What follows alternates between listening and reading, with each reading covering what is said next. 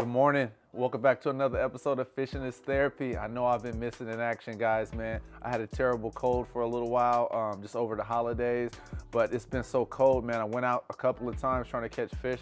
So cold, the fish just weren't acting right, right? It seemed like they were lockjaw or I was going out in the rain, things like that, and this wasn't a good production for you guys. But it's 2024 now, guys, and I'm back. Um, I know a lot of guys are up north, they're iced out, it's cold. You know, you're thinking about different mods. What do you need for your boat as you come into the spring season?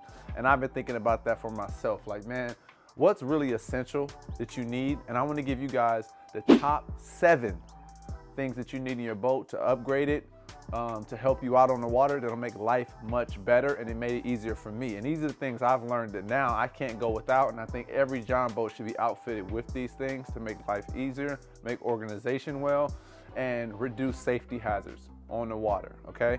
So I'll come with you and I'll go ahead through these different things and I'll also put a timestamp on each one of these items so if you feel like you can skip through just so you can see the items or, you know, so you don't have repetitive repetitional items that you already have. So without further ado, guys, let's get in and let's do some Jon boat therapy.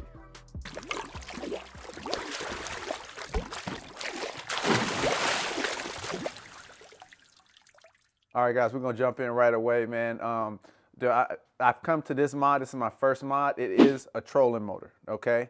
Preferably has spot lock would be really good. If it doesn't have spot lock, we totally understand. Um, so if you can get the one that has the pedal option as well as the remote, that'll be really good for you. The reason why I say that, let me let me take you on a little journey.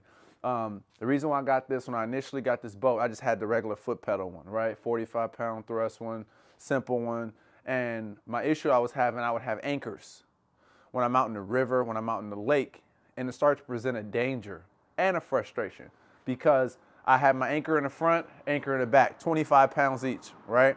And when I would anchor out, you know, you drag and you got to hurry up and run to the front, run to the back, especially if you're by yourself. So I got tired of that. And then on lakes where it's popular throughout the summer, you're getting waked. And if you need to move out of the way from a boater, you can't. You got to pull up the ropes and it presents a hazard where you need to get out of the way or reposition your boat so you don't get waked because I was actually anchored down and the water would splash over and I couldn't go anywhere.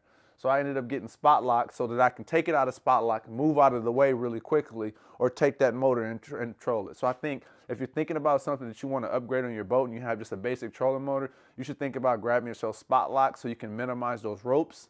I'm not saying in certain situations, you're catfish and things like that, I wouldn't bring my anchor to do that. But for safety concerns, I think it'll be much better for you to have an option to just spot lock yourself and to be able to use a remote or foot option. Just in case your battery on your remote dies, you have the foot option or vice versa. But that takes me to number two. Very, very important mod for me, especially it's cold right now. Right now, guys, it's 20 plus degrees, okay? It's 20 degrees. So I'm gonna show you why this one is important because I ran into this issue on the water and I was so grateful that I had this option. Let's go take a look at it. Everybody has one of these on their boat, right? Unless you just have a trolling motor setup. It's an outboard motor, okay? And Tohatsu is a really good brand, but let's not get caught up on brand. When you're thinking about upgrading this season, this year, or in the future, right? Don't worry about this. This is just my uh, backup marker where I know how far to back my boat up. Um, this right here, the thing I, I want you to focus on the most is having an outboard that has electric start when it's really cold. So I ran into this issue. I came out, I tried to electric start my motor. The uh, lines was frozen. And they were frozen. I couldn't get it started. Couldn't get it started. And I'm electric start. I'm like, man, what the heck? Luckily, I had the rope start. So I can pull it and get it started. So if you're going to think about an outboard motor and you're on the fence, so I get electric start, so I get pull start, spring for a few extra hundred dollars and get both. Okay? So if this rope ever breaks on me, I have electric start. If electric start isn't working or my batteries are dead on the water and I'm away from the boat ramp, I have the ability to pull start.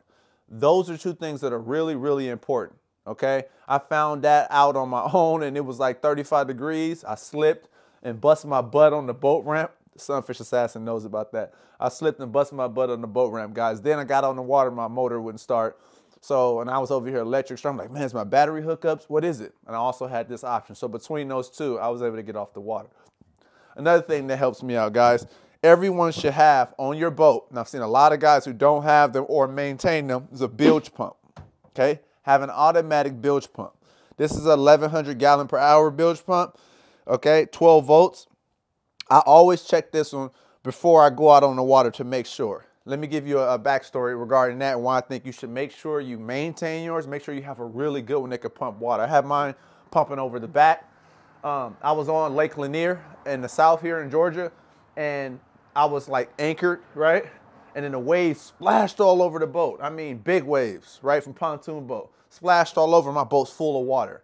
If I didn't have an automatic bilge pump and I had a manual, I would, by the time I was fishing in the front, by the time I looked back, all of this had water here. The bilge pump clicked on, kicking all the water out, and that saved me tremendously. I just told a few guys on the Coosa River, they were on a canoe, and they didn't have a bilge pump in their canoe. And as I was towing them, the water was just sloshing all over and everything, right? And they didn't have any means, so they were just trying to use the manual pump. Guys, the manual pump is not going to work if you really get a lot of water in there. So make sure you have a quality bilge pump. So that's three items so far. Another one, we're in we're in the winter right now, but we're going to get into the spring and into the summer really quick. Okay, why did I change my Jon boat? When I first got this Jon boat, I had it all laid out the way I wanted it, and it was just metal. I was thinking about the you know the regular little hydro, I mean uh, the little turf carpet that you get from the store everyone puts on or, or the, just a general all-weather carpet. Um, all of those work. But you want something to protect you from this Jon boat because it's aluminum and it gets really hot in the summer or just in the spring when the sun's beating down on you, you will burn your leg. I can't tell you how many times I've already burned my leg on the side right here, but it's very minimal. I was thinking about adding it or wrapping it around, but you want to be able to protect your boat. This HydroTurf so far, and I'm not, I'm not saying you need HydroTurf. It is a more expensive option. But when I get mud on this thing, I can just rinse in their beads and just runs all out. And I just drive my boat around the corner and just run it out. Um, I've spilled things on here. I had guys on here with, um, you know, that that have cigarettes or beer or anything, things spill. Look at this HydroTurf. It's still in really good shape. Okay, you see stains. I can just wash that off. So I wanted to show you in the real form why you need HydroTurf. It helps you out in the winter. You don't slip and fall when, when your feet is wet. Um, it helps you out if you have any heat, you drop anything, you drop ashes, you drop any sticky drinks or all the blood from the game fish that you catch. So upgrade to that and it'll help you and it'll just reduce the glare of that heat bouncing off of you and hurting you. And you just don't want that wood, plywood floor and it just get all wet and you can't walk around on your boat, guys. That's another upgrade that you should have. One other one, okay? Now we at number five fish finder. I added another fish finder because it's a map just for mapping, but all you need is one, right? We're talking about what you need as an essential. Fish finder, why? It's gonna tell you your water temperature. It's gonna tell you your depth. Depth is very important when you're on the lake, when you're going for certain species. Also, depth is important so you don't run aground, right? And you get your boat stuck. You wanna know what are the areas, but you're able to just map out the lake. And just having a fish finder has changed the game for me. I initially got the boat, was like, I don't really need one. I quickly found out that I needed a fish finder because I want to learn the depths and everything, but I have the extra option of having a mapping system up here and also live scope. I'm very fortunate to be able to have that option, but just get you a fish finder simple. Make sure you have depth, water temperature, you can have time of day, and you can know how fast you're going if you ever want to do a speed test and test out how fast your boat is going. So Simple Electronics, got they make these things really efficient today, and they just do very well. So go ahead and get you a fish finder right now. The holidays, eh, you know, is still here. I mean, just passing New Year's, so you still can find these on sale for under 400 bucks. Go ahead and get you one. The Garmin Striker is really good. So I started off with on my kayak, and that was only 100 bucks, 110 bucks. So get you something where you can have that option, okay? Another thing, I'm gonna go right here to the front. I have them in the back, but I also wanna show you, I have them in the front. It's very important as a fisherman that you need these. So we're going to talk about things in twofold. You need a navigation light, okay? That's very important when you leave out. So um, fishermen, we find ourselves going out early in the morning, right? And the seasons change. So when I first got my boat, I'm like, man, all right, I got the navigation light, I'm fine. That's all I need to do. It's just go out and um, I'm leaving at seven in the morning, 6.30 in the morning, the sun's out because it's the summer. Well, when the season changed, I'm leaving at 6 o'clock, 6.30. I'm getting to the boat ramp and it's still dark. I can't see anything. And now when I realized it was dangerous, but I always have a flashlight, this one right here. And I'm out here on the boat with the outboard and I'm shining the light trying to see because navigation light is not enough. That's dangerous. I went ahead and upgraded um, to the Nilight uh, out. I can turn this one for, at this angle, one straight forward, and we have one over here on the other side for the left side of the boat. I have I have two in the back as well. What those also do, guys, is serve for me when I go night fishing during the spring and summer. They um, my backlights they're angled to the water and they they act as um, like a green light or a light, you know, kind of like a dock light.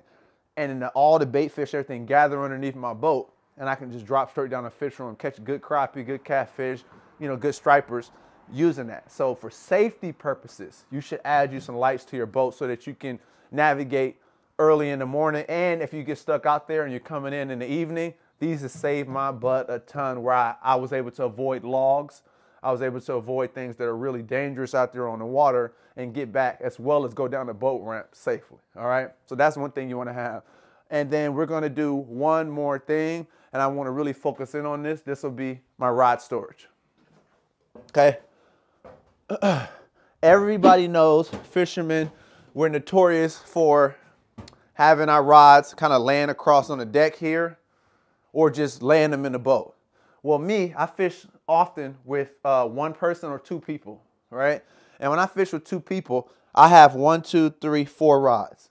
Someone else comes with me and they bring four rods. Then another person with me comes brings four rods, and people tend to just kind of toss the rods around, and you're switching up. You're fishing for multi-species, and you can break your rods. I've broken my rod eyes, all type of stuff. Rods almost falling over in the water. You got one you can see on my channel, Gar Mayhem. We're running around with the rods tangled everywhere. It just was a mess. So I upgraded for the one that just goes right here. It's called Boat Buckle. I upgraded from there because I needed more rod storage. And this one right here is called Millennium Marine, okay? This one I got from Cabela's. And I really like it because it has the ability to be adjustable, right? when you're moving it around. Let me show you guys. So you just go ahead and undo it right here. And then you can move your rod storage up this way. You can take this also and swivel it to the outside and have it hanging on the outside. So sometimes when I'm just me in the boat, I have them laying like this. I'm not gonna tighten them down because I want them back that way, here, here. And you have the ability to be fully adjustable and lift them all the way up. And these go up to about right here. So these Millennium Marine rod holders changed the game for me. It's made it really easy and it's easy to adjust. So when guys get in the boat, I just say, hey, put your rod right here on this. We can turn them like this and it takes up about this much space. And we have all of our rods laying there and we can just grab them off, go, drop the other one down and keep going. But I normally drive down the road with them like this. And it's helped me out tremendously with keeping the boat organized, guys. So we've went over a few things. Think about this as you're, as you're, you're contemplating what can I upgrade?